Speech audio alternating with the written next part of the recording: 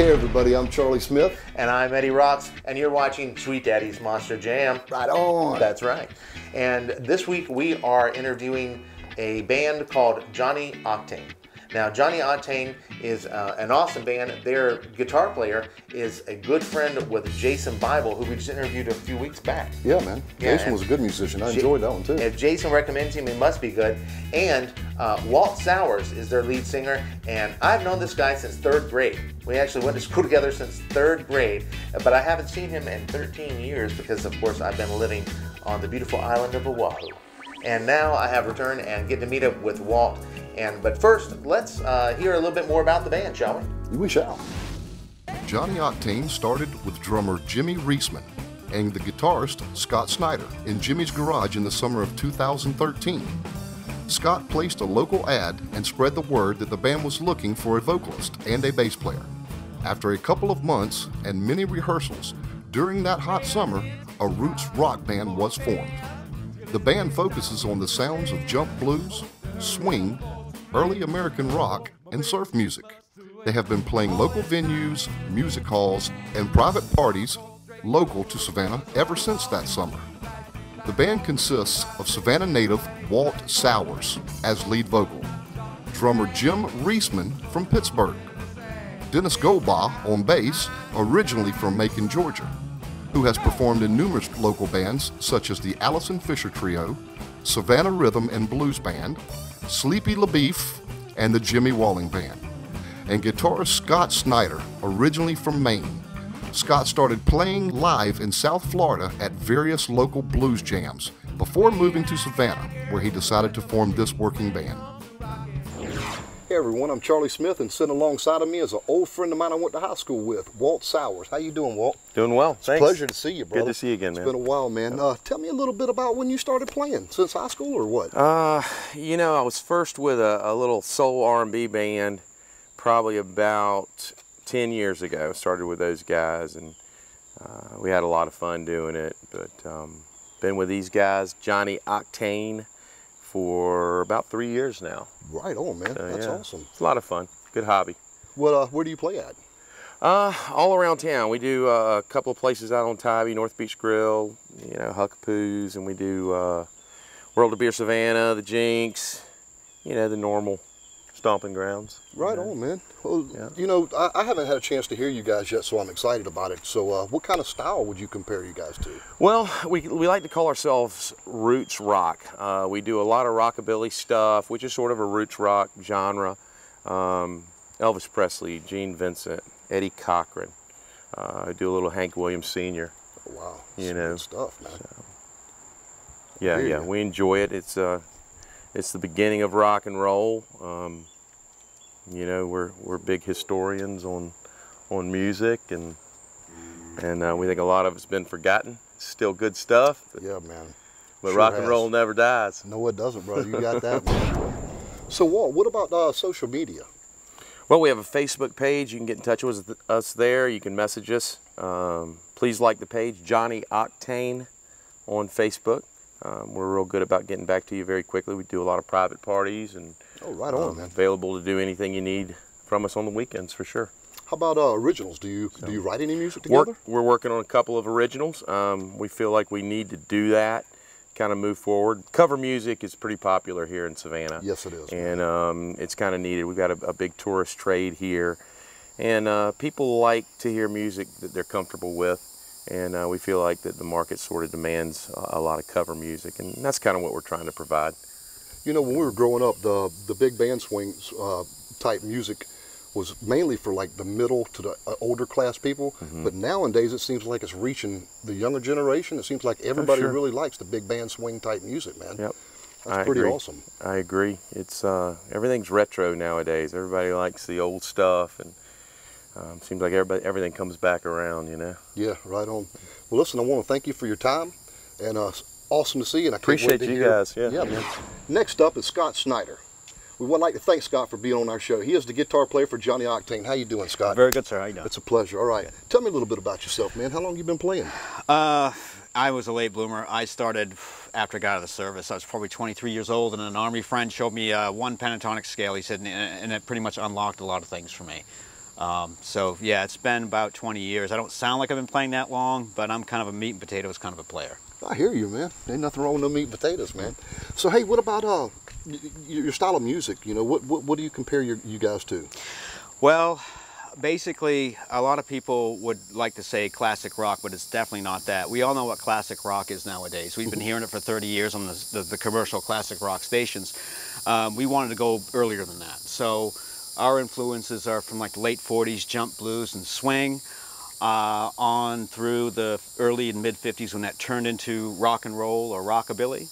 Um, then there was some subgenres shooting off of that, like surf from the early 60s. Loved it actually. Yeah, and most of our most of our music is, you know, like I said, from late 40s through the 50s and through maybe the mid 60s. We've got a couple of tunes that we play, a couple of covers that you know are outside of that, but basically we call ourselves a roots rock band, and you know the roots of rock and roll. Awesome, man. That's cool. So, uh, who's some of your inspirations?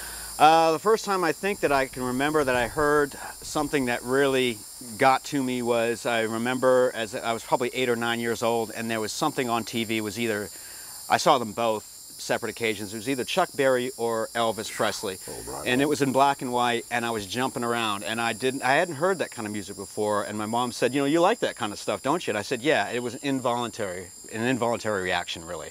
And it's pretty much been that's what I like is you know older American style rock and roll. Well, cool, man. You know, uh, like we were talking earlier, I interviewed uh, viewed, uh, Jason Bible a couple of weeks ago. Yeah, good friend. And uh, he mentioned uh, a lot of good things about you, man. So I'm really excited to hear you play, man. Well, I'll tell you something. Jason, uh, I, I moved to Savannah in 2006, and he and his wife were living uh, uh, in an apartment downstairs from mine. And he was packing up one night to go to a gig, and we became instant friends. And I was kind of a geek with a, a guitar equipment and amps, and I started building pedals, and I'd use him as a guinea pig. And uh, you know, a few years later, his band was opening up for BB King with four of my pedals, and here I'm still playing in the living room. You know, and so I decided that it was about time to break away from that and actually play for real. We're right on. We're glad to see it, man. I can't wait to see you play. Oh. It's been a pleasure to interview, man, and uh, get some of the other guys out here, and you take it easy, man. You do the Peace same. and love, brother. Thank you. Hey, and next on the show is Dennis Goldbaugh from Johnny Octane, the bass player. How you doing, Dennis? I'm doing good. It's It good to see you. You too. A pleasure to meet you, sir. Heard a lot about you and, and the band, and uh, this is really exciting for us. First and foremost, I want to know how in the world you play that upright bass, man. That is so neat, man. Well, I, you know, it's just a progression. I started out on guitar like most people do, and then uh, just due to uh, the, the, the, the laws of supply and demand, wound up on a bass and wound up playing a lot of bluegrass music. And bluegrass, of course, stand-up bass is kind of uh, Yeah. expected in a lot of circles. Kind of picked it up from there, and uh, but I've always had interest in rock and roll, and uh, I've never been exclusive to acoustic style music. Right, and right. Uh, I always really liked blues a lot, and uh, classic country. And uh, when you mix those together, you kind of get rockabilly. So that's that's what I'm liking. you I hear you. Well, question: uh, Did you ever know Jimmy Walling? Oh yeah, played with Jimmy for Once- years. Once you mentioned bluegrass, man, he's an old friend of mine, man. Jimmy, Jimmy's a one heck of a banjo player, man. Yep, yep. Uh, we we we played every bar in town at one time or another. Let me guess, like. Billy Bob's Oh, River yeah. Street. Yep. Oh yeah, Now I remember you. I saw you playing with him down there before. That's right. This is so cool, man. This is Yeah. awesome. yeah. So tell me a little bit about your style. Well, it's just uh, I'm a meat and potatoes bass player. I'm not real fancy. I I, uh, I just like to hold down the rhythm. We've got a, a small band, and uh, the uh, important things having having a good locked in rhythm section. Bring out the stand up bass for probably two thirds of the stuff we do, and and a lot of it's uh, either like a Johnny Cash style stuff or uh, old school rockabilly, Carl Perkins, Stray Cats, that kind of thing. And, Right on. and when you play that kind of music, a big part of it's the slap style stand-up bass. Yeah, I was checking you out earlier. That's some uh, cool stuff, man. That's it's a very physical thing, and it, it takes a while to get a hold of it. And I've still got a ways, long ways to go to be among a really accomplished slap style player. But I got the fundamentals down, and uh, people like, good to me like to see it, and they like to hear it. So. yeah. Do you have any uh, favorite songs that you do, you guys do? We got a Stray Cat song called uh, Fishnet Stockings. We've got a one that's kind of a little bluesier. That's uh, called Going Down to Big Mary's, picked up from the Paladins, which is a kind of a Americana blues rock band that used to tour and come through town occasionally. In fact, the, the, the first time I ever saw a stand-up bass in an electric rock style band was that band, the Paladins. We got a repertoire of some interesting stuff. Some is very obscure and, Right and on, some is everybody knows as soon as they hear it. So on the original music, Dennis, uh, is it, are, are they ready to, do you have them ready or are you in the process of making them? Uh, we- we're a good ways from having them stage worthy. We got some lyrics and some riff ideas and that sort of thing. But uh, right now, we just mostly have been putting ourselves towards getting a wide and diverse and longer set list. We're we're getting there on the original stuff, but it's it's not on the front burner as much as the back burner right now. I'd say. I hear you. Well, Dennis, I want to thank you so much for being on the show. It is a pleasure and an honor, and I'm looking so forward to hearing you guys, Well. man. It's a blessing, and just keep rocking on, brother. And sitting beside me now is Jim Reisman, the drummer for Johnny Octane. How you doing, brother? Good, nice to meet you. Such a pleasure, man. It's an honor to see you, man. Uh, tell me a little bit about yourself. You know, how long you been playing? I've been playing for about uh, 25 years. Oh, and wow. uh, I was playing on and off for a while, and then uh, I met Scott, the guitar player. Right on. Um, we started, you know, started playing and uh, just found a good groove together. Right on. You know, we talked earlier, and I'd asked you this question, so I'll ask you on camera. What uh, what were your inspirations? I love the old 50s style music, uh, rockabilly swing, and uh, we always just click together whenever we, you know, me and Scott play, and Dennis and uh, Walt. It's just a joy to play with them guys and Awesome. have a good time. Uh, recording. What about recording? What are you guys doing as far as recording? Uh, we recorded about a year ago. We got probably about four or five songs. They're on Facebook. So if you want, you can go to Johnny Octane on Facebook and uh, check out our recordings. Right on, man. That's awesome. So, Jim, what about future recordings? Uh, I'd like to get back in the studio probably in about six months from now, and uh, maybe even start doing some like original, right? Start writing our own stuff, and uh, just see where it can take us. I hear. From your view, what are some of your favorite songs that you guys do? I enjoy playing the, like the jump blues songs, the swing songs. Uh, Right on. We, we play uh, the Carl Perkins songs, uh, blue suede shoes, just anything that's getting getting everybody up and dancing. Right. I envy you, man. You get to play with a stand-up bass player. I bet that's pretty neat. man. That's great, yeah, because uh, there's not a whole lot of them around. Yeah, and uh, definitely. definitely brings out a different sound in everybody. Right on. You know. I'm looking forward to hearing you, man. Listen, it was a pleasure having you on the Sweet View. Peace and love, man. And uh, we'll be looking for you out there, man. Awesome, thanks. Well, that was great seeing Walt Sowers after all these years. I tell you, he hasn't changed too much at all. And, uh, and that's one of the good things about doing the show. You get to meet friends from from way back when. And you know, I actually found Johnny Octane and Walt Sowers when I was living in Hawaii. That's right. That's the power of social media. I was all the way on Oahu, living out there, Shaka and Bra. I learned all about Johnny Octane from thousands of miles away.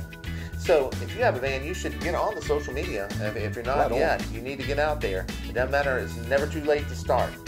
And you can catch uh, Walt and his band, Johnny Octane, on Facebook at the Facebook that we're listing here at the bottom of the page. And um, we encourage you to go out there and see these bands live. You can learn all about where they're playing on social media, on the Reverb Nation, and all the different access that you can find on the internet. And so we're, we're encouraging you to um, continue to watch our show. Uh, next week, uh, Charlie, uh, myself, and uh, Will Griffiths will be back with yet another show, and we will kick, Kick the the bobo. bobo.